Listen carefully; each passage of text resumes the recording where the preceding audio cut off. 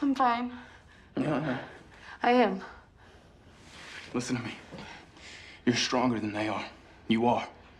Get to a bow. They may not have. Well, if you show them how good you are, they just want a good show. That's all they want.